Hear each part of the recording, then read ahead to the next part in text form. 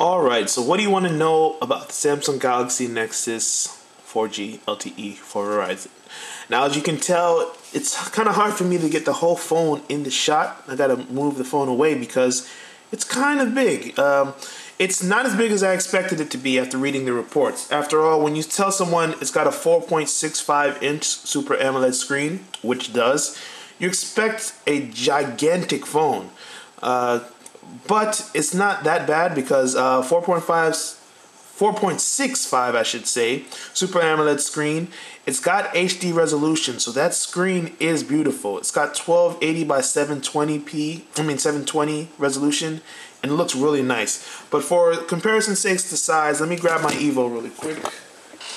Okay now, let me put these two next to each other. As you can see, they look kind of similar, right? But when you start to go towards the top, you see that the Galaxy Nexus is a tiny bit taller. Uh, and as far as width goes, let me put this on top. It's just like pretty much the same width. You don't even really notice it uh, when you put them in the back. So if you're coming from an Evo, it's not that big of a deal. It's more that the phone is long then it's wide. So the width is not going to be a problem for you. Uh, when I go to the back, you can see it looks a tiny bit chunky right now. That's because I have the extended battery in. Uh, you can check the website for the full dimensions. It's it's not going to be a problem. It's going to fit in your pockets with ease. You don't have to worry. Uh, it's got that little curved glass, the contour, I should say. It's not Gorilla Glass. It's reinforced glass, so it, it will take more of a beating than your standard phone, but uh, don't think you can scratch this up and beat on it like you would a Gorilla Glass because it's not the same. As far as performance, it's got a 1.2 gigahertz processor, dual core by TI OMAP. You can see the way that it just snaps through the menus. Uh, so far, it's been really fast. It's handled everything I've thrown at it, but again, it's only been 24 hours. Uh, this is just early impressions. I'll give a full review in a week or so. Uh, it looks and performs really nice. I haven't had any issues with it being slow to load stuff. Uh, you know, you tap on it, you wait a second or, or, two. You know, it's not as quick and thing. This is all. this is cold starts. I just turned the phone on, uh, but when you're multitasking and switching from app to app, things will load faster. Uh, but at the moment, that's not uh, the case. As far as uh, battery performance, again, it's too early to tell, but it's not off to a great start. Uh, yesterday, it went off on me after only a few hours of use. I'm trying to put it through its paces today, go through a couple charging cycles to see how it is. A lot has been made about the lack of hardware buttons on this phone, but it won't matter because as you can see here, you've got software buttons back, home, and this is for switching between apps. Uh, you just tap on that and you go somewhere. I'll go to my music.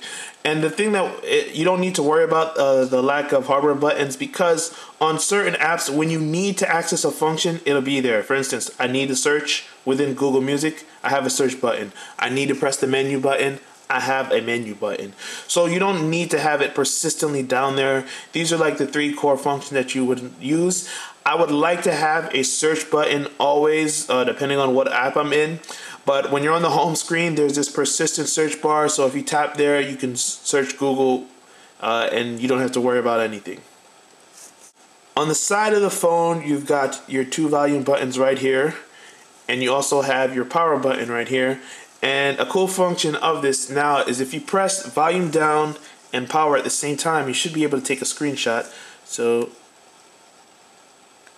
and just like that, you saw it took a screenshot and now I can go to the gallery and see my screenshot later on.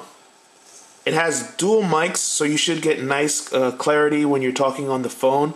Also, down at the bottom, it has like a little LED light uh, when you get notifications. Uh, so sometimes when you're walking by, you'll see a little white light pop up, and that means like you have an SMS message or something like that. Uh, Google says that there's three colors that it uses. So uh, I haven't figured out what the other two colors are yet because I've only gotten messages and that's all I've needed to access so far. As for the build of the device, uh, it doesn't feel cheap as uh, some people worry about. Uh, a lot of people have commented in the past, oh, Samsung's phones are plasticky. Yeah, that was true with the first Galaxy S series, but this one is not going to be a problem.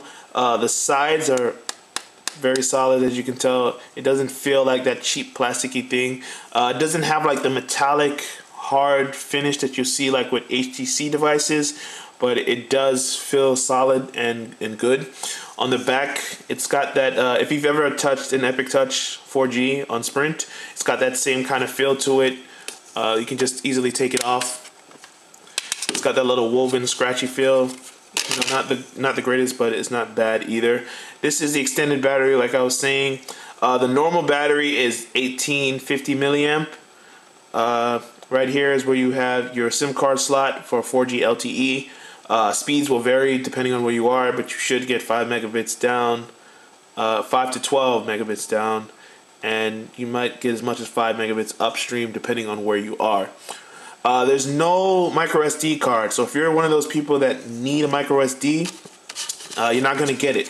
It has 32 gigabytes of internal storage, and that's fine for me because I'm someone who is transitioning to the cloud, uh, like those Microsoft commercials say. Oh crap, I messed up. And by the cloud, I mean that a lot of the services that I need are stored on someone else's server rather than on my device.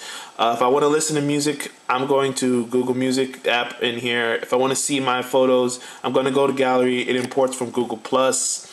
Uh, documents I do store on the phone. I do have some music for offline, and it's pretty much only apps and app data that I need on the phone. So 32 gigabytes is more than enough space for me. Of course, the Galaxy Nexus has the new camera app from Ice Cream Sandwich that is very impressive. It's incredibly uh, quick. It's got zero lag shutter speed. So when I tap the button, the picture's already been taken. Uh, now, on the plus side, it's incredibly quick. In the past, we've seen some Android phones that take forever to snap a photo, like the Droid Bionic, which is just terrible. But in the end, some of the results aren't always in focus and is nice. And I wonder if the clarity might have been sacrificed for speed. But uh, I'll give this phone credit. In low light conditions, it performs better than most Android phones. It's got a 5 megapixel camera, an LED flash, and like I said, it does well in low light conditions. Other times, uh, not as good as the competition, but it's going to be passable. You know, you're not. This isn't going to replace your your point and shoot Canon or your Kodak or whatever, but it will get the job done. Uh, as far as front facing camera, you've got a 1.3 camera over here and it's pretty nice for video chat. I haven't tested it for anything else. Let me see if I can switch it really quick. Uh, press this button to switch between front and rear. Oh, there we go, there we go, there we go. Let's let's take a picture. Oh, that's lots of pictures. Let's see how good this camera is. I'll use it as a test shot that I upload later. Well, that's pretty much it for now. I'm trying to think if there's anything other specs I may have missed. Uh, let me check my spec sheet really quick. You can hang out with my Android buddy over there. Sorry. This is just the early impressions after 24 hours of use. If you've got any questions, feel free to go to androinica.com and put your questions in the comments section. I'll do my best to answer as many as I can as I go through my review process this week. If you're watching this on YouTube, follow the link below and it'll take you to the article and you can ask your questions there. In the meantime, this is Andrew from androinica.com playing with my Galaxy Nexus. You know, hopefully this will be a phone that I keep for a while because uh, this is my first time on Verizon. Verizon's charges out the